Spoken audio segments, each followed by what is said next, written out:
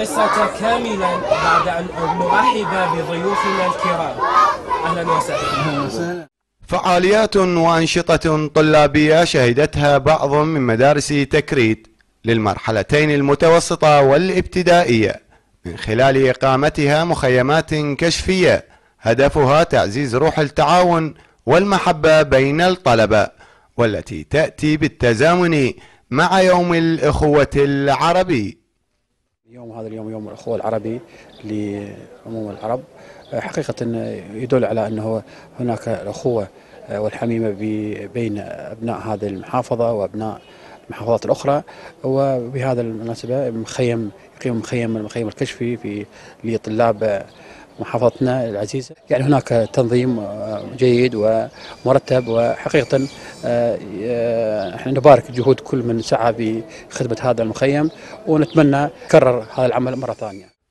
المخيم حمل طابع الانضباط والإتقان في العمل ولم يخلو من اللمسات الفنية والابتكارات الطلابية التي أضفت لهذا الحدث جمالية أسعدت الملاكات التعليمية فيه.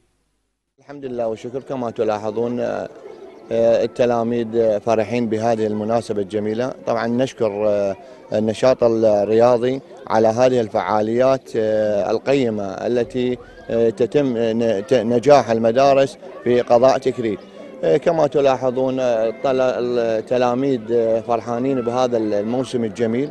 نتمنى من الله سبحانه وتعالى أن يعم على بلدنا الخير والسلام والأمان إن شاء الله. أقمنا هذا المخيم السنوي بمناسبة يوم الأخوة العربي وهو طبعا مبادرات الطلبة والمدارس والفرق المشاركة هو أهم شيء يعني عندنا دائما هو إحنا اعتمادنا على الطالب والتلميذ إنه لازم يترفه ويتعارف على بقية أصدقائه وزملائه وهو عمل كشفي يقوم به التلميذ وبمساعدة طبعا المعلمة مالته. ويجي هنا يقدم لنا الأعمال. وإحنا بالدور نشكر جميع الفرق المشاركة.